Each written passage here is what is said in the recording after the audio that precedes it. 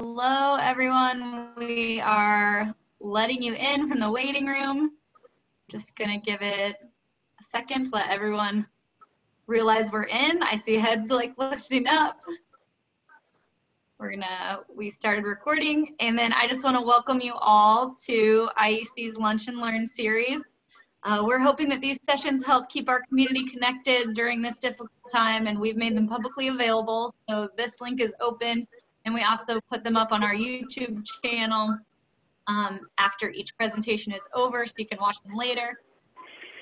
Since our, oh, I think we need to mute everyone, Jeff. I hear some, everyone on there? Okay. And then just a little bit about IEC since our founding in 1975 by a group of dedicated grassroots environmentalists. We've led issue advocacy campaigns by allowing environmental organizations to their resources and create a higher profile for environmental issues.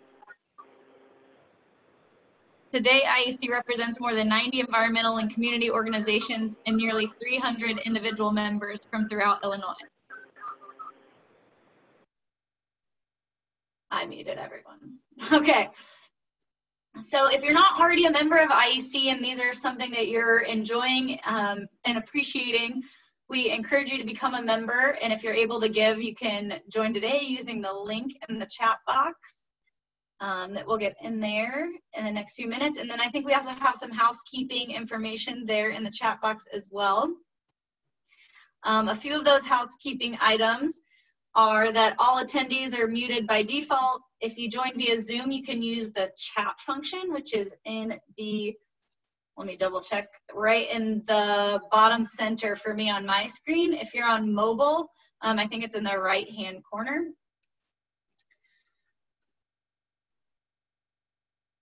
Uh, you can use that to ask questions, add comments, provide resources, and time permitting, we'll do a live Q&A right at the end using that chat box.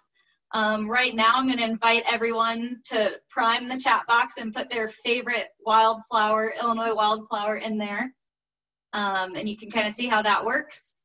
And uh, just if you're on the phone, you can use star nine to raise your hand and we can uh, unmute you to let you ask questions during that live Q&A. And then I forgot to introduce myself, but I'm Lindsay Keeney. I'm the Conservation Director at the Illinois Environmental Council.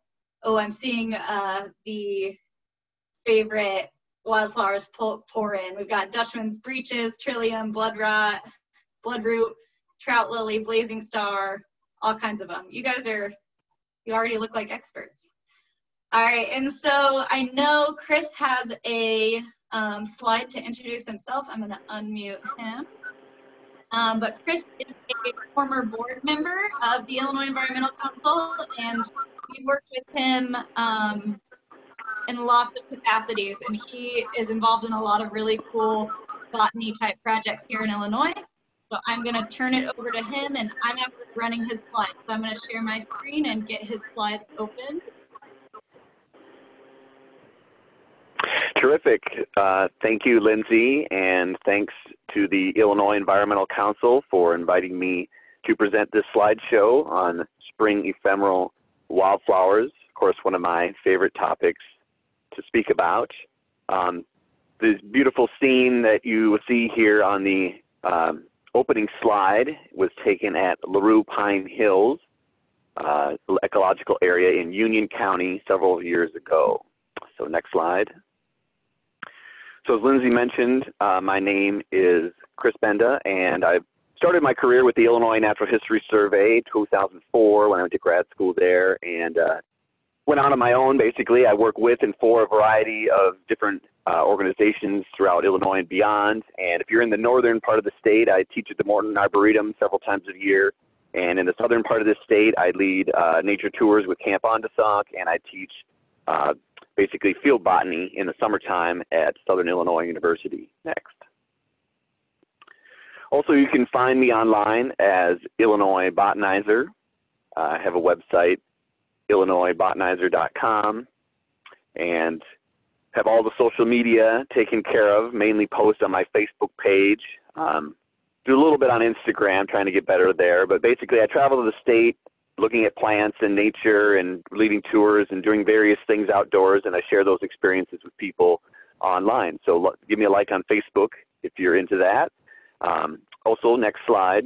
On my website, I have a plants database set up. I've been putting the photos that I've been taking for the last 15 years of living in Illinois and sharing them uh, on the website there. And then on the bottom of each page, you can subscribe to the mailing list. Uh, I have my schedule on the website as well, but if you want to get an email reminder, I give events all throughout the state.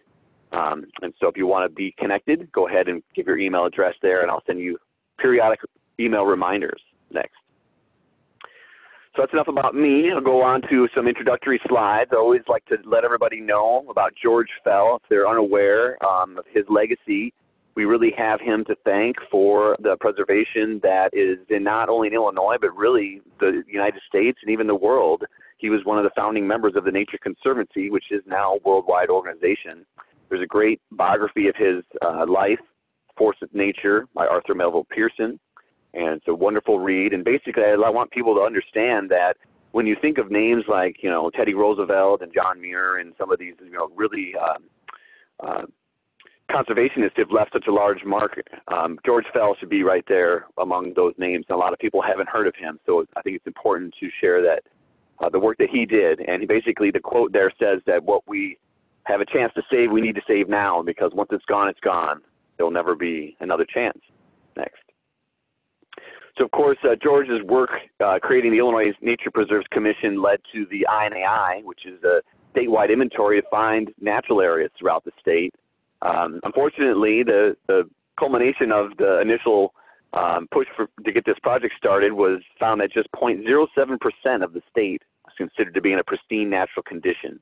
So you can see the map on the left that there are natural areas pretty well distributed throughout Illinois. 102 counties in Illinois, only two, Franklin and White, do not have a Category 1 natural area. So a lot of them are privately owned, and that's kind of unique for Illinois. And although what we have left is pretty small, um, it's priceless biological heritage that we need to protect uh, continually. Next. So you can see another representation here that shows um, basically the size of Illinois, 36 million acres, 76% of that is in agriculture, a large amount is, you know, urban land, and then you can see the little red circle is the amount of high quality natural communities uh, in 1979 that were known in the state, just 0.077%. Next. But that is why I think of this quote as also important. Um, really identify with this from E.O. Wilson that every scrap of biodiversity is priceless, never to be surrendered without a struggle. So, of course, we have our beautiful and rare Kankakee mallow, which is unique to Illinois, um, a wildflower that has been successfully brought back from the brink of extinction. So we are doing what we can to protect our rare flora in Illinois. Next. Okay, so um, you're a captive audience. You're here because you like plants, but you can see what this meme shows. Sometimes I take a little more aggressive approach to try to sneak botany into uh, various conversation topics. So a little little plant humor there before we head into the wildflowers next. So Illinois is a pretty diverse state, uh, about 3,600 species of plants total. You can see a number of them are beautiful flowering plants.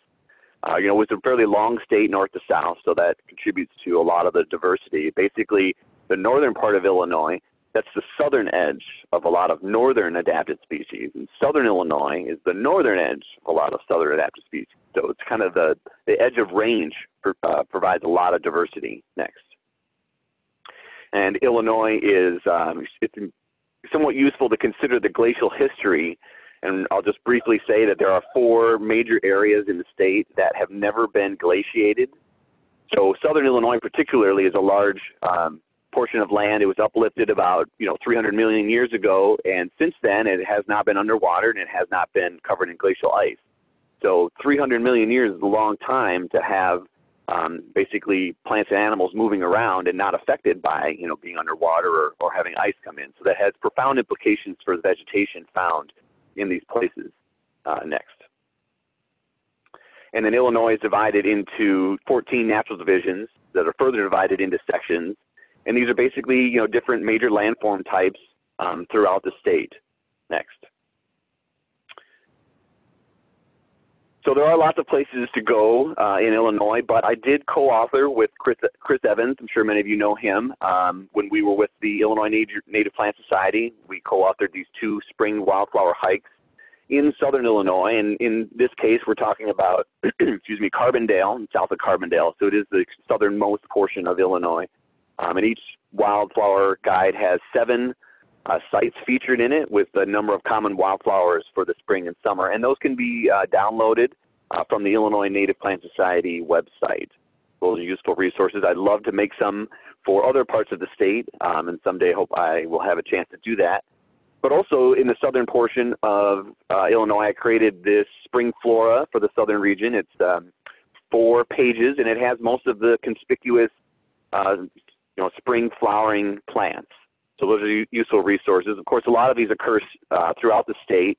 This is designed for south of uh, Illinois Route 64, but these are housed at the Field Museum um, with their other rapid uh, color guides, and there is one for the Chicago region for spring flora as well. Next. See the four pages and go on to the next slide.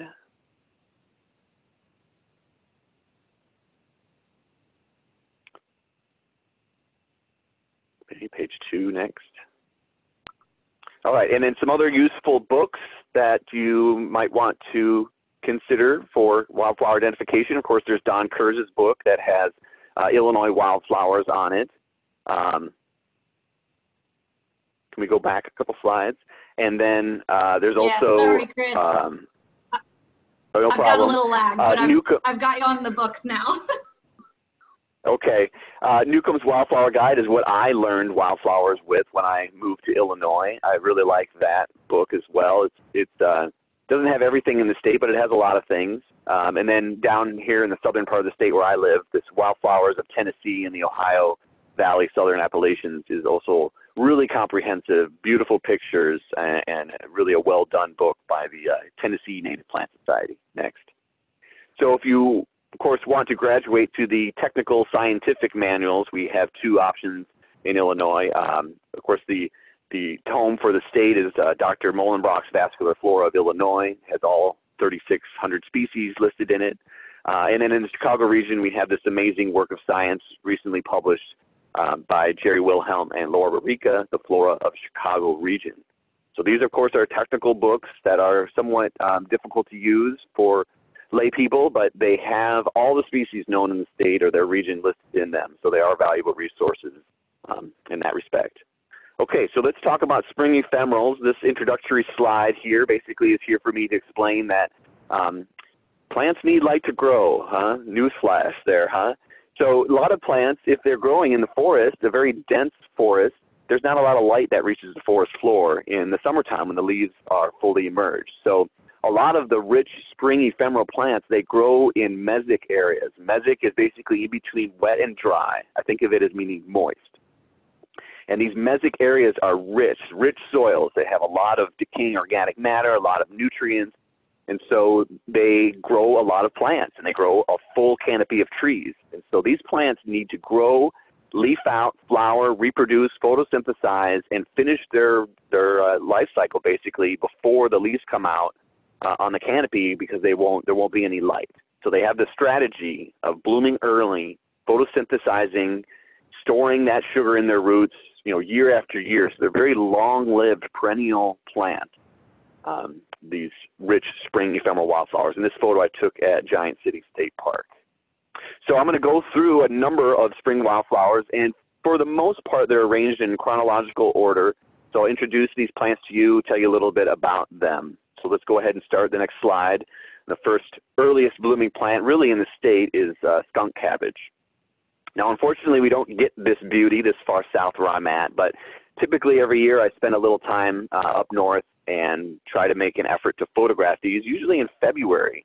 And of course, skunk cabbage is uh, a thermogenic plant. It actually has an ability to produce heat and melt the snow around it because it blooms so early and allows the, the flowers to come up and bloom. And you see they have really interesting looking flower structure.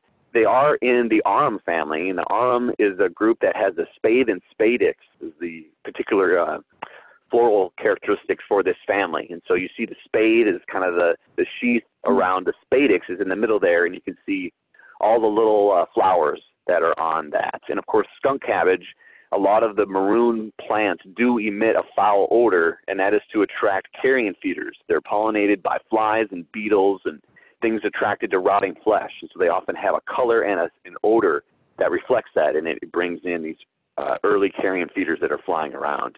Next. Also early flowering plant. It's up next here. Uh, the harbinger of spring, of course, aptly named. You can see my car key there. You, you really can't appreciate how small these are until you see them for the first time, and they are very dainty. Um, it is in the carrot family. This is the poster child for the Illinois Native Plant Society. Our journal is called Erigenia. Our newsletter is called The Harbinger. Um, and there, this plant is also sometimes called salt and pepper. You see the white petals and the purple stamens there on this little plant. And is really a special one to see. And this year was blooming as early as February 3rd uh, in Jackson County. So really early bloomer next. And some other really early bloomers uh, include little little lag, so bear with us. Um, spring beauty. And the interesting thing about spring beauty is it's a, one of the first wildflowers to bloom in the spring, and it's one of the last ones to finish blooming. I mean, this flower can bloom for two months in some periods uh, or some parts of Illinois.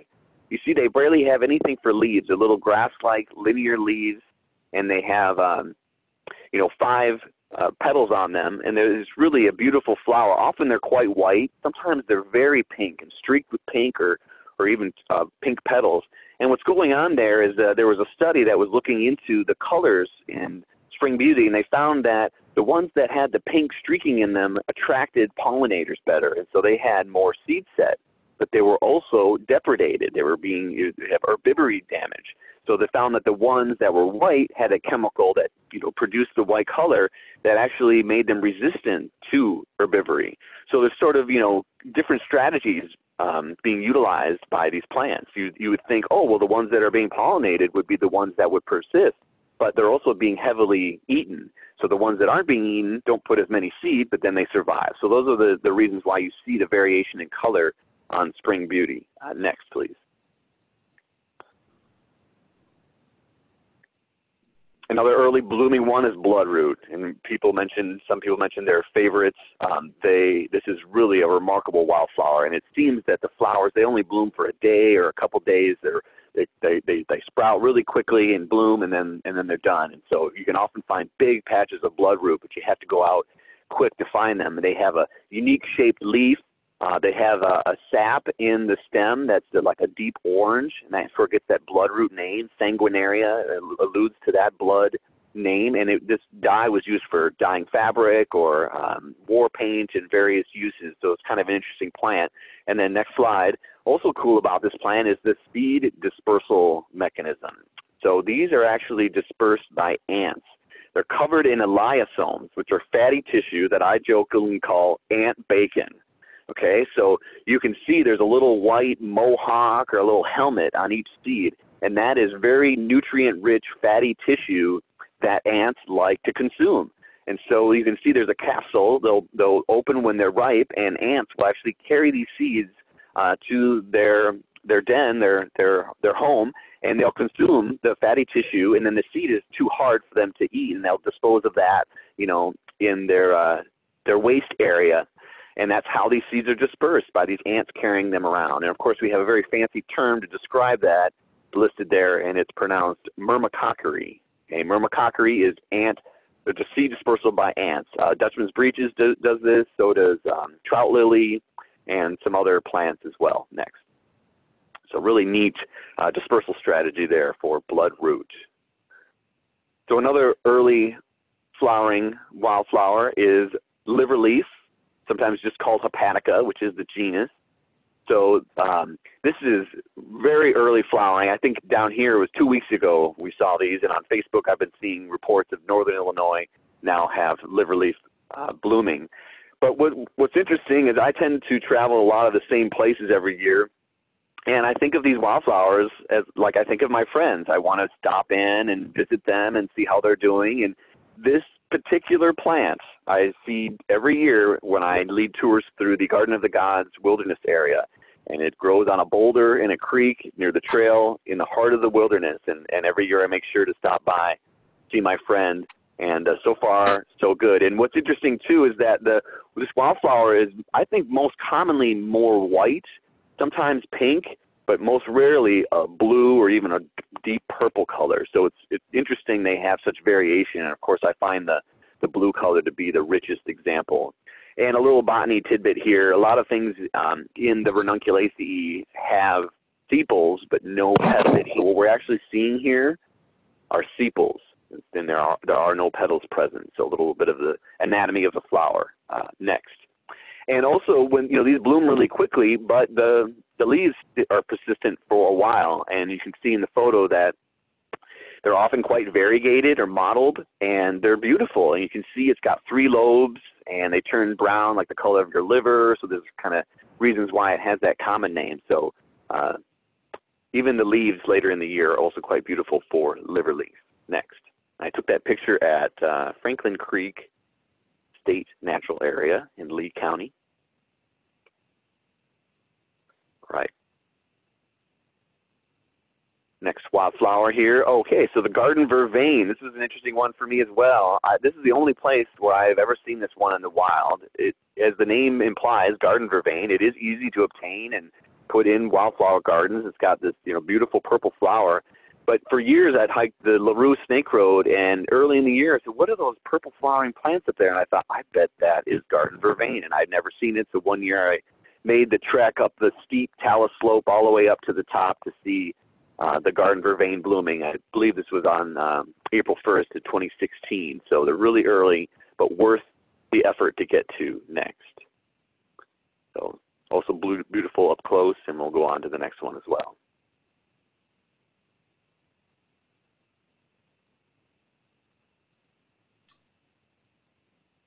Okay.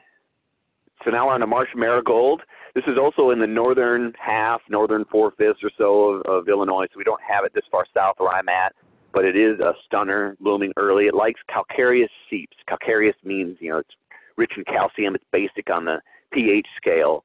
Uh, in fact, when I was working on the Natural Areas Inventory Project, we were looking for high-quality steep springs, and they're very small and they're often privately owned, so they they're hard to detect.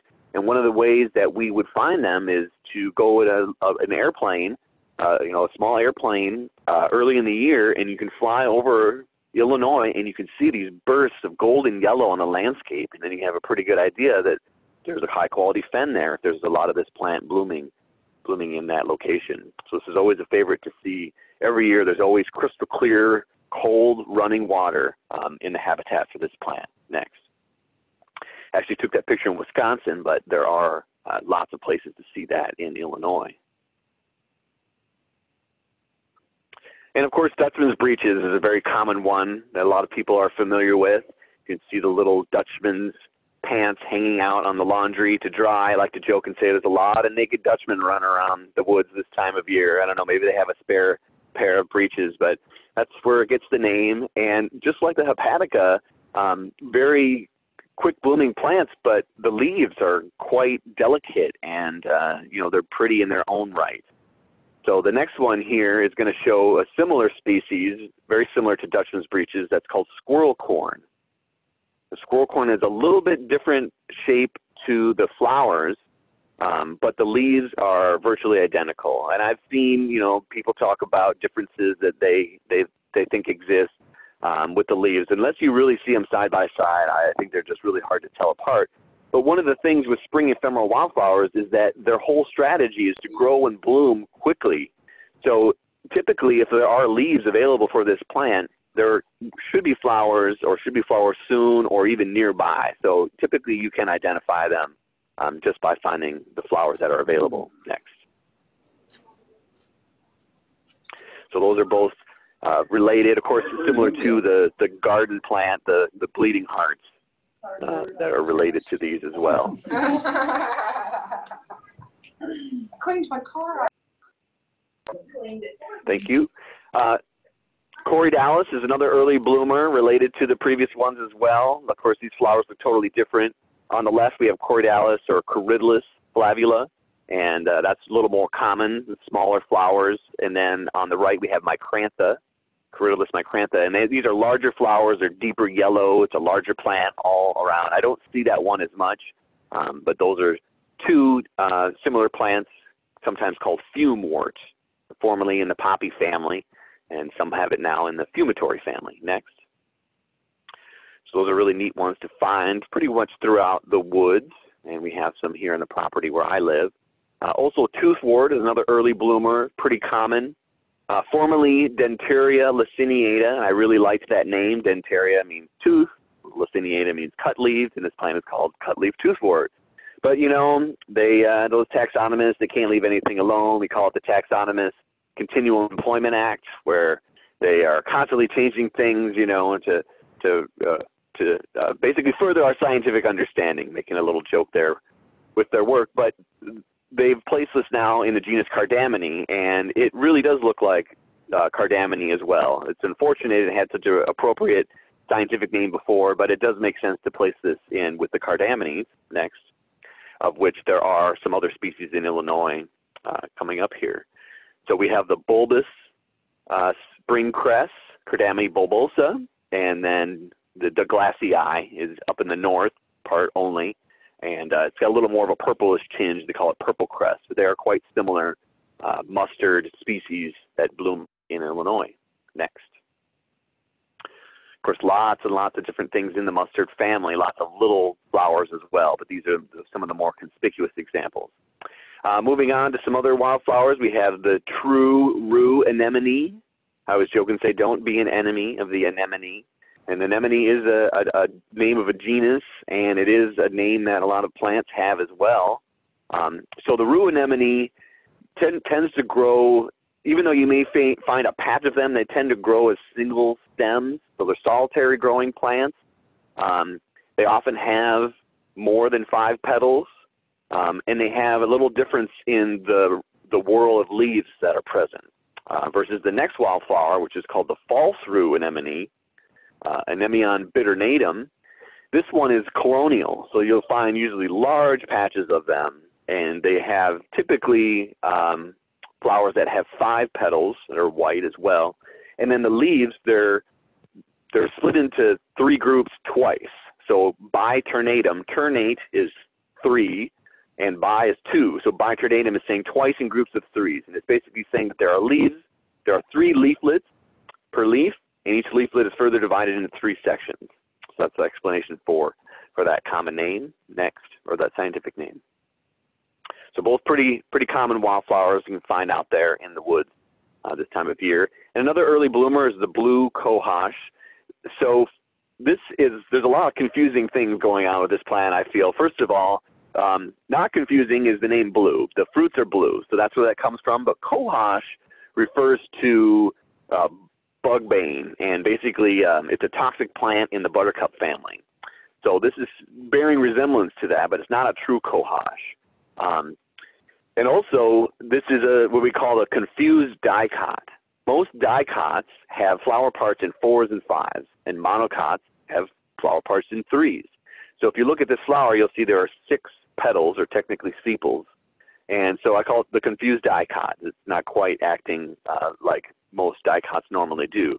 Also, the name uh, Caulophyllum thalictroides, oides means similar to, so thalictroides means similar to thalictrum.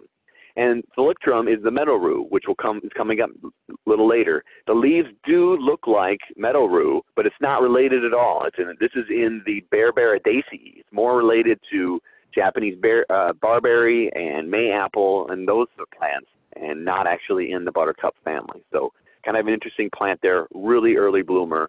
Another interesting thing about this is that out east, these flowers are almost always maroon. But in Illinois, same species, they're always yellow. So I think that's kind of a little interesting about that plant. Go, go ahead to the next uh, slide. In twinleaf, this is also a, a, rare plant in Illinois, one that we've considered to start to track. Um, you can see it has these beautiful butterfly looking wing, you know, leaf shaped, looks like butterfly wings. Um, and the flowers sort of maybe look like bloodroot, but this is actually also in the Berberidaceae family. So it's related to mayapple, which this, those flowers, you could see the resemblance to mayapple. Um, but an interesting thing about this plant is that it blooms really early and really quickly. And even while it's blooming, it seems like we like to joke and say if you look at it wrong, the petals will fall off because they're really delicate. Um, so this is one you have to seek out early and uh, photograph, typically in early May. Go to the next slide. And oh, and named after Thomas Jefferson, Jeffersonia, the twin leaf. Now, bluebells, I took this picture at Thatcher Woods in Cook County many years ago, but of course this grows very commonly throughout the state in various floodplain um, habitats. This is in the Boraginaceae, uh, which most of those plants have petals that um, are fully opened up, sort of you can see the picture like this, flat. But these are, the petals have actually fused into a tube, and that's what I call it the bluebells. So they're kind of neat, and uh, you can see definitely a gorgeous wildflower, quick bloomer, but a stunner as well. Go to the next slide. You can always find big patches of bluebells around the state. Now here's the meadow rue. So the, the blue cohosh has leaves that resemble the meadow rue, and there are actually several other uh, plants in Illinois that have that species name Thalictroides, and this is what it's referring to, leaves similar to Thalictrum. This is our early meadow rue, Thalictrum dioicum, and dioicum means, it refers to it being dioecious. So you can see the picture here. The dioecious means that a plant is either male flowers or female flowers, but not both on the same plant. So on the left, we have a male plant that has male flowers. You can see the, the, the stamens, they're hanging there. And then on the right side, we have a female plant with female flowers. Those are the stigmas, the little white parts there that will capture the pollen and, of course, make seed. Next. And that is in the buttercup family. There are three species of Thalictrum in Illinois. The other two bloom in the summer. Now, false mermaid weed, it's a really neat plant, also restricted to the northern part of the state. Um, it has this lime green color to it, and it just grows in huge patches, and it, it really uh, senesces quickly. So I took this picture in April. I think this is a Cook County Forest Preserve. Um, might be Thatcher Woods as well. Um, and it just, you know, totally covers the ground, and it has a little delicate flower. This is also actually another confused dicot. If you look at the flower, you'll see four petals and four sepals. That's an anomaly. Typically, this species has three, but it is a dicot, so it's another one of those confused dicots. And it's got the long name Floerkea proserpinacoides. Proserpinacoides means similar to Proserpinaca. Proserpinaca, of course, being the mermaid weed, this being false mermaid weed. And the a fun, kind of ironic thing about that is those two plants don't really look like each other very much, but that's how this plant does get its name, the false mermaid weed. Next. The fun one to always go try and find, very dainty little plant. All right, now we have white trout lily. Took this photo at Maple Lake, Cook County Forest Preserve.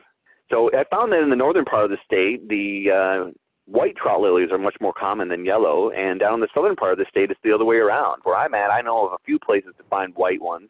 The yellow ones are pretty widespread. So that's kind of interesting. We do have a third species, uh, and that is the prairie trout lily, and that has white flowers as well. But you can see that um, they have mottled leaves that sort of resemble a brook trout, and that's where it gets the name. Um, and this is a true lily. The lily family has been broken up into various families now, but trout lilies remain in Liliaceae. Go ahead to the next slide. Uh, and this one shows the yellow trout lily. I took this photo at Rocky Bluff uh, at uh, Crab Orchard National Wildlife Refuge. And there really is this stunning plant when you see them bloom. And, and also interesting is you'll often see just single leaf, um, single leaves coming out of the ground with no flowers. And like I mentioned earlier, it takes a lot of energy for a wildflower to bloom, for it to reproduce. And so because they have such a small window to photosynthesize, to store, make energy and to store it in their roots, sometimes it takes seven to up to 10 years for a spring wildflower to bloom from seed. They're basically growing for year after year in that very small window of growth storing up energy till till they have enough to to reproduce and bloom. So often you can see just a, a hillside or a rock, often boulders, would just be covered with just a single leaf per plant, none of them blooming, and they're basically juveniles, or they're too young to bloom. Go on to the next slide. But always and so when they do bloom, they produce two leaves. So you always see two leaves for blooming trout lily, just one uh, if it's immature. Wild ginger is also a common plant. It's got these beautiful reniform or kidney-shaped leaves. Um, Asarum canadense. This is actually in, in the uh, Aristolochiaceae, so it's related to plants like Dutchman's pipe. And you see the little uh, sort of, um, this is also a confused dicot. It's a three-parted flower at the base there. And the strategy here with the wild ginger is it's also um, attracting carrion feeders, flies and insects that, that um, are attracted to rotting flesh. And so the flowers are at the base of the plant. Typically, flowers are up high above. The plant is advertising them, saying, you know, come visit me, my, my showy flowers, attracting pollinators. Well, this plant, you know, often beetles and flies and things are in the leaf litter. Um, in the springtime, this is an early bloomer. You know, there's not a lot of insects out, but insects are looking for food, so they're they're going to uh, plants like wild ginger, and they can actually go in the little sort of urn-shaped um, wildflower and seek refuge. When you have these cold spring nights, the wildflower is down in the leaf litter where it's warmer um, with the soil, and so sometimes they actually have a little home there that they can hang out in. Uh, so it's sort of a, a, mutual benefit there with the wild ginger. Go to the next slide. And I will mention that um, wild ginger not related to our culinary ginger at all. Um, they're totally different plants, different families. Golden seal is another one. Um, was once overcollected, of course, because it has um, disputed medicinal properties. Um, but this actually is a species that has made a tremendous um, comeback in Illinois. In fact, it, here in the southern part of the state, it's one that is tracked by the National Forest. So when I do surveys for them, I have to um, document where they occur, and sometimes it gets a little tedious because it is so common. There's really a lot of golden seal down here, but you see when they do bloom, they just have these really strange-looking flowers. There are no petals. You can see there's a whirl of stamens, and then of course you have the styles in the middle, but all stamens. And uh, and like the trout lily, if it's too young, there will be a single leaf on a single stem. It will not bloom. And when they're reproductively mature, they'll have two leaves, and then they'll bloom there. So at the the base of the, of the leaf. So go to the next slide. They're definitely uh, a beautiful plant to see early in the spring. Oh, and they produce a red fruit later in the year that is, kind of neat to see as well. Now, May apple we have, I think most people are familiar with May apples, um, Podophyllum peltatum. When you have um, basically the stalk of the leaf and the leaf attaches straight on the top, it doesn't go through or attach in any other way, that's called peltate. That's where we get that name. And of course, podophyllum means foot leaf. And the flowers actually bloom underneath the leaves. So the down in the axils of the, the basically the branch of the two leaves. Because just like uh, golden seal and like trout lily, mayapple is the same. Single leaf, single stem, it will not flower. It's reproductively immature. It needs to grow more. And then when they're ready, they'll branch and grow two separate leaves. They'll flower at that branching underneath the leaves, and then you know they're reproductive. They produce a, a large fruit um, that is edible when it's ripe, but all parts of this plant are poisonous otherwise. So you have to be very careful when you're dealing with this plant. But the box turtles do favor um, eating those um, fruit pods, and that's one of the ways this is dispersed. It is a clonal plant, so you do see huge patches of it. I have some right outside here and where I'm at in the woods. Um, so it's a lovely one to find always. Go to the next slide. And like I mentioned earlier, in the Berberidaceae, in with twin leaf and blue, blue cohosh and barberry. Hoary puccoon is not exactly a spring ephemeral wildflower, but down in extreme southern Illinois where I live, it blooms very early. It blooms on limestone glades when hardly anything else is blooming. So I put it in the spring group. Uh, in the northern part of the state, of course, you can find these blooming in June, you know, in your stand prairies and, and various um, savannas and things. But Lithospermum canescens is the name. I took this picture at Simpson Barrens where there was a nice big clump of this wildflower, and it's just one of my favorites, so I had to include it. We'll go to the next slide. It's uh, related to the bluebells. It's in the Boraginaceae, the borage family. and shooting star. So we have three shooting stars in the state, um, but French's shooting star is the first to bloom, and it only occurs in the Greater Shawnee Hills, which is basically Giant City State Park, a lot of the Shawnee National Forest, Bell Smith Springs, Garden of the Gods. Those are all places where you can see French's shooting star. So George Hazen French was the first botany professor at SIU, Southern Illinois University. In 1874, he discovered this species at Giant City State Park, and he was with Stephen Forbes, who uh, discovered a saxifrage species as well. So Forbes has the Forbes saxifrage named after him, and French has the French's shooting star formerly Dodecatheon frenchii, been reclassified now as Primula frenchii. And this plant only grows along the drip line or underneath sandstone overhang. So only in the greater Shawnee Hills, only along sandstone bluffs. Um, the more common um, Mead's shooting star grows on top of bluffs in dry open woods and prairies and throughout the state. So this one's a, a little bit different, and it's very special wildflower for Illinois because for a long time it was thought that it only occurred in, in Illinois, no other state. But now we know we found it in uh, several adjacent states as well.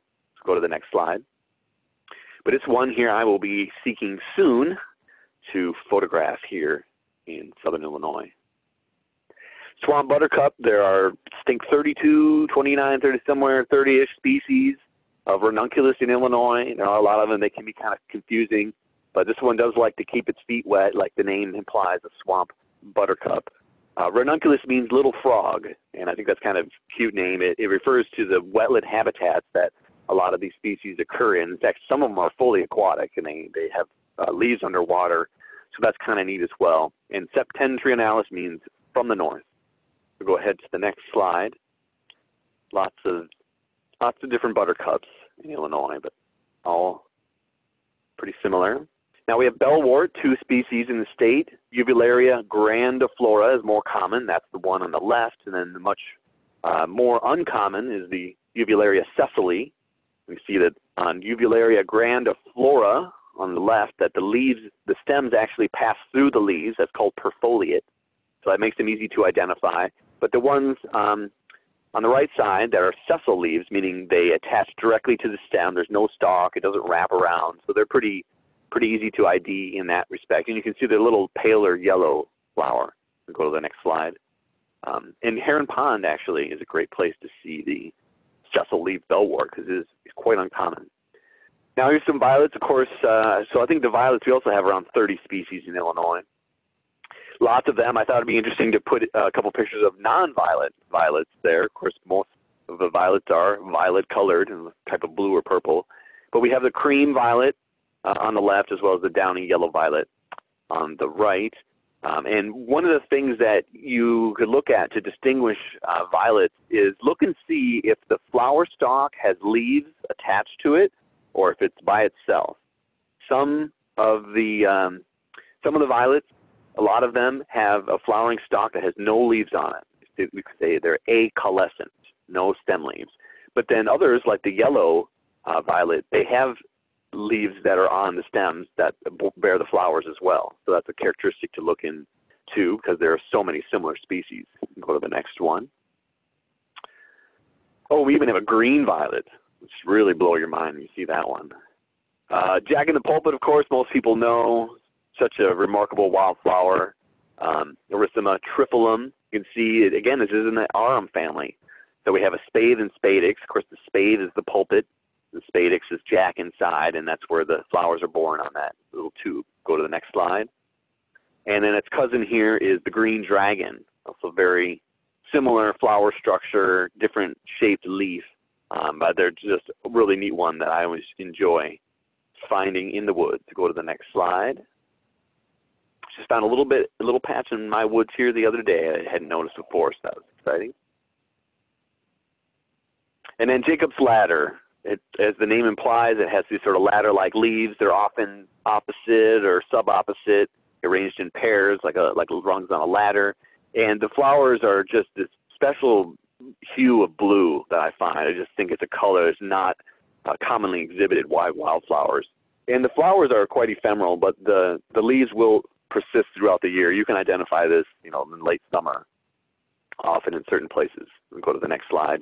It is the type genus Polemonium, so of the Polemoniaceae, the phlox family.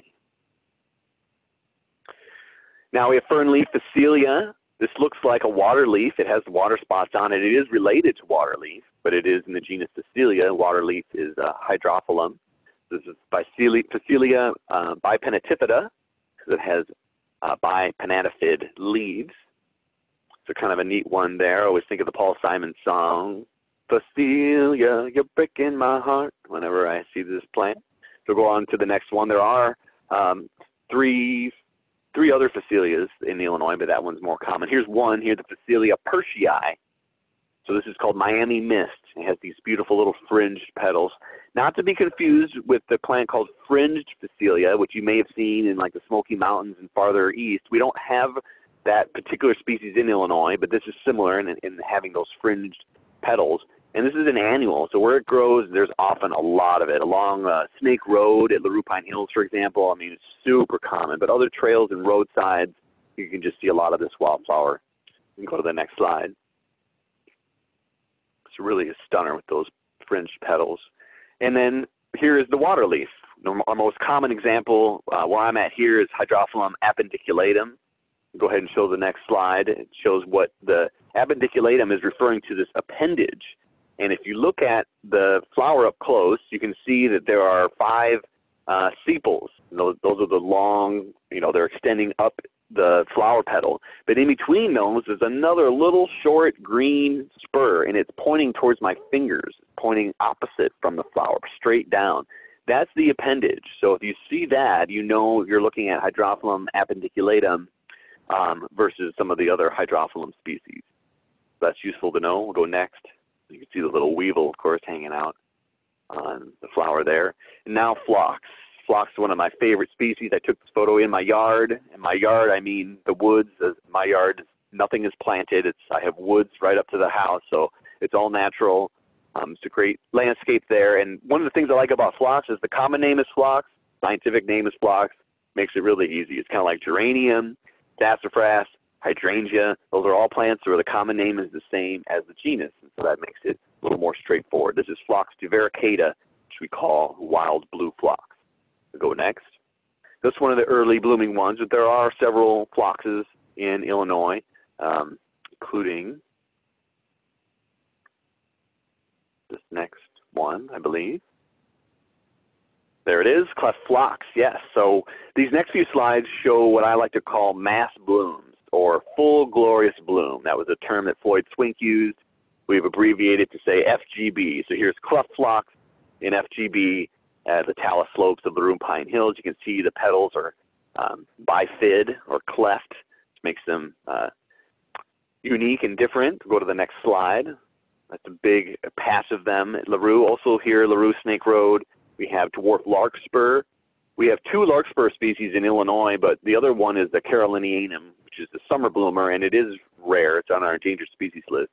This is restricted to the south, but it is um, it is a stunner. When you see a huge expanse of it, I mean, there's just not a lot of wildflowers that have this sort of rich blue, purple color to them. So I find it remarkable. Go to the next slide. And it's in the in the buttercup family, Delphinium tricorne. And then here we have uh, celandine poppy. It's coming up next another mass bloom here near Inspiration Point at LaRue Pine Hills.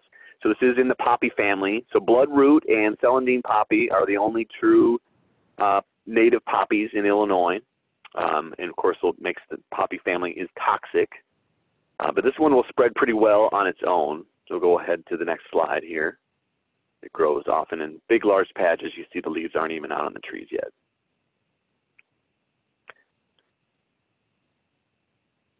And we have, oh, wild hyacinth. So this is at Cave Creek Glade, south of Vienna. Owned by the, the state. You see an expanse of wild hyacinth at the base of the slope. We'll go to the next slide. Always love to go see those. Okay, so 1249, I'm going to pick up the pace a little bit here because I have some shrubs I got to show you. So blue-eyed Marys are beautiful. That's at Giant City. We'll go to the next slide. That's a that's a uh, an annual. Um, we also have wood sorrel. This I took this picture in my driveway. blooms out front. It's really a beautiful little plant. Go to the next one. You can see the leaves that are all folded up and they're purple underneath. This is a little dainty flower. And then we have nine trilliums in the state. So I'm going to show you some trilliums. The first bloomer is the snow trillium. As the name implies, it can bloom through the snow. I'll go to the next slide. It is, you can't appreciate how small these are from that picture. They are really small. Um, but a larger one, as the name suggests here, white trillium, Trillium grandiflorum, little more common through a lot of the woodlands in the, in northern, you know, two-thirds of the state. We'll go to the next slide. Um, and then another white trillium that's much larger is Trillium flexipes. See there, go to the next slide. It's a beautiful, stunning wildflower. and then the most common one here is probably the purple trillium, also called prairie trillium and bloody nose trillium and all these lots of, this is a plant with a hundred common names. So I just call it Trillium recurvatum. You see it's got the maroon flowers as well. Interesting thing is that Trillium recurvatum occurs in every county in Illinois, but in any other of the adjacent states around, it's not. It's like we are definitely the heart of its range. And sometimes they can have yellow petals, like you see here, variety luteum, but still purple stamens. And we'll go to the next slide. Actually, it should say form. There's, they're not varieties; these are forms. So it should say F luteum, and then the next one here, F shayi. So the Shays trillium is the one that has the yellow petals and yellow stamens. That's really the stunner and the rarest of them all. Still waiting to, to see it here on my screen. Which one are you looking for, So Chris? Shave? Uh, that's one right here. Yes, Shays. Yes, thank you. See that yellow petals and yellow stamens. So this is the rarest form of the three. Really one to keep your eye on and just beautiful wildflower. Thanks. We'll go ahead on to the next one, which is the sessile trillium, also not as common. You can see a lot of the ones before, the, the green parts there were pointing down. That's the recurvatum, the recurved sepals. On this one, they're spreading. Go to the next one. That makes it uh, easy to identify. And green trillium is also very rare. It only occurs in uh, Illinois and Missouri. We'll go to the next one, and you can see how the green uh, flower parts there, point straight up. And then red trillium, also very rare in Illinois. Took this picture up at Mississippi Palisades State Park. There's a nice nature preserve. Go to the next slide. Also purple flowers, often called ill-scented trillium. And this little weird one is one that I found in the woods here nearby, and it's blooming. It's not known from the state. I'm a little confused of what to think about it, but um, there is a little patch here that I'm going to go check out this afternoon, photograph. So follow me on Facebook. I'll post a photo. Uh, but there you have Trillium stamineum. It's more common to the south of Illinois. We'll move on to the next slide. So quite rare there. I think that's the last of the trilliums. So just you can just click through quickly till we get to the shrubs. You got wild columbine here, um, beautiful wildflower. My wife there posing with them. And next, bishop's cap, doll's eyes. Oh, and they'll stop here. Yellow lady slippers. These are one of my favorites, and they will be blooming at the end of April. I found a number of new populations last year uh, in the summertime when they weren't blooming, so I'm excited to go back and see them bloom. But they are just, I mean, they'll make your heart stop. They're so beautiful. Uh, so this is the last uh, forb. I'm going to go now through some shrubs quickly, but I want to leave time for questions. So we'll whiz through the shrubs here. We'll just kind of list them off here. I think we start with redbud. See what's up next here. The redbuds are blooming right now where I'm at in profusion, just an absolutely gorgeous color. Continue. You can see the flowers up close. Um, really beautiful shrub, very common tree in Illinois. And then we have serviceberry, also early bloomer. Can't tell you the stories. I'm out of time. We'll we'll, we'll do that another day. But continue on here. Um, a lot of neat names for that particular shrub. Red buckeye, and then next is its cousin, the Ohio buckeye. So red flowers on the red buckeye, cream yellow flowers on the Ohio buckeye. And then, oh, the viburnum is the rusty black haw. These, I took this picture. These grow right in front of my house, and they're getting ready to bloom. And they're so gorgeous, and they smell wonderful, but they bloom really quickly. Uh, then bladdernut is another spring shrub flowering. Got you can see the little bell-shaped flowers. They form a little lantern capsule-like thing, so they're neat. And then got just two pictures left here. So we'll pause here for a second on silver bells. uh, Halesia tetraptera, and this only grows in Pulaski and Massac County along the Ohio River. Uh, it's an endangered shrub in Illinois, but it is one that I'm seeing in the nursery trade, and so you can get your hands on it. It's got these beautiful white bell-shaped flowers, and they make a lot of them. So go on the next slide. The last uh, shrub then I'll show you is the wild azalea. And also like the lady slipper orchids, these are just stunningly beautiful, and I always try to go find them every year. Uh, Trail of Tears State Forest, uh, LaRue Pine Hills, you can see these if you know where to look, and they are stunningly beautiful. So that gives us uh, five minutes left here. We'll go to the final slide. Uh, you can contact me by email, uh, check out my website as well. I'd be happy to answer any questions at any time, uh, including uh, right now. So thanks for attending. I hope you learned a lot, and uh, we'll see if there are any questions. Yeah, I'm going to pull up in the chat. Um, and I want to thank everyone for bearing with us. We are uh, presenting across the very long state of Illinois. So any lag was because Chris is way down in Southern Illinois and I'm up here. Um, but like you said, we're going to do some questions really quick. Um, if you want to throw those questions in the slide or in the chat box, I will open um, them up to Chris and I'll just read them aloud to you, Chris, if you're ready for some quick fire questions. Sounds good. Sure. Okay. Um, lots of people are asking about if these slides will be available afterwards. Jen let some people know that we'll have them on our um, YouTube where we li link to Chris's website. Here we go. Are the petals of spring beauty always so pointed? Are the what of spring beauty? The petals. What part? Petals. The pe Um, gosh, I'm not sure to answer that question. I hadn't noticed they were so pointy. I'm not. I'm not. I'm not sure. I'll, I'll, that's an observation I'm going to have to continue to make. Let's see. And then someone else said May apples equal morel time. Yes, yes, very much so. I, I, I, I joke with people and say that I only see green. I think I've found three morels in my entire life, but I'm not a very fun guy. Um, someone asked, can you purchase most of these wildflowers? Are there any good places? Some of them you can purchase, like bluebells are easy to obtain. Uh, I have a lot of people who, who have put bluebells in their property. Um, same with the celandine poppy. I, I bought some at our native plant sale for my neighbor, and they're expanding and and uh, they bloom every year. Um, other ones a little harder to obtain. Um, shooting stars I've seen, but shooting stars take a long time to grow from seed, so you have to grow them for a long time. But often people are, you know, if they're buying plants, they want them to be kind of showy, and that's one where you kind of have to wait a while.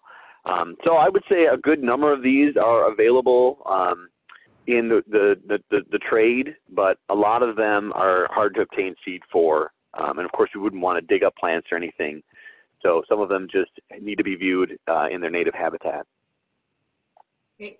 Peggy wants to know, does waterleaf always bloom? I often see the leaves without blooms. So yeah, waterleaf it does grow in large patches, and so like the other spring ephemerals, um, if they're reproductively immature, they will not bloom. Um, but they also uh, they persist in other times of the year. So outside of springtime, I often see large patches of leaves. So those, of course, maybe have been done blooming. There actually is one species, um, the Canada waterleaf, I believe, that the flowers actually are below the leaves. The leaves are higher than the flowers, so they may be hard to see in that respect. Um, so there's a few answers there, basically yes, and but there are some other things going on as well. And I'm gonna butcher plant names on accident, but someone is, uh, Adrian says that they're very happy to know the difference between juvenile and adult erythronium and hydrastis canadensis. Um, they had always wondered how to tell Good. if they were that. Um, someone says Yeah, there was a squirrel leaf. flower. Yeah, someone says that there was a squirrel flower that was skipped over, tubular shape, that looked really cool. Squirrel corn was one in there. May may have skipped over quickly, but yeah, that was a neat one. Yeah, I see Peggy. She's shaking her head. That That's must be it. it. Oh, Um, okay. And then, then Charmaine says, which ferns in Illinois would you recommend visiting to observe? Oh, uh, they're wondering where to observe wildflowers, maybe which park. For, for wildflowers, parks? Is that the question? Yeah. Yeah, where where would you recommend visiting to observe wildflowers in Illinois? So, well, for wildflowers, there's, you know, obviously lots of places. If you, if you were talking spring ephemeral wildflowers, you want to find these uh, mesic woodlands. Um, so there's a number of Cook County forest reserves or any of the, you know, forest reserves uh, in the Chicago region. Allerton Park is a great spot. Lodge Park, if you're sort of in the middle of the state. Um, Carpenter Park in Springfield is a, is a wonderful spot for spring wildflowers. Of course, down south we have Giant City, Ferne Clyffe, LaRue Pine Hills, uh, Trail of Tears State Forest. So there, there are a good number around. I would look for Illinois nature preserves and ones that have um, mesic woodlands contained within them. So maybe like a, a ravine or a stream corridor, um, and that's that's a good place to look for these wildflowers. Uh, Messenger Woods, exactly. I see that coming up. Pilcher Park, Yeah, yep. everyone's everyone's correcting me, not Deer just parks. They're asking about fens, F-E-N-S, one of the main types of wetlands. Ah, Yes, a fen is a glacial wetland, basically, and um, I led a fen tour for the Morton Arboretum a couple years back, where we visited several examples. Um, but basically, ground wa- water is going into the ground, and then it'll hit an impervious surface, and then it'll come out sideways and come up, you know, above the ground. So it's it's permanently saturated, permanent flow of cold, calcium-rich, you know, high uh, basic pH um, um, in in the water that basically certain plants uh, will grow in. So they kind of look like uh, it's sort of like a quicksand uh, sort of area, like Bluff, Bluff Spring Fen has some nice fens, Lake in the Hills Fen, of course, um, and a seep and a fen. Sometimes they're kind of similar. They are separate communities, um, but that's basically the the gist of um, of our fen communities. great. Thanks, Chris. Well, I think we are, Okay. we're a little bit over time, one or two minutes, but we appreciate you giving this. This is fantastic. Those pictures are beautiful. I'm getting a lot. Thank you. My pleasure. Um, in the chat, people are really enjoyed this. So I see a lot of hands clapping with Okay. people know how to work Zoom better than we Thank do. you. Thanks so much, Chris. Bye, everyone.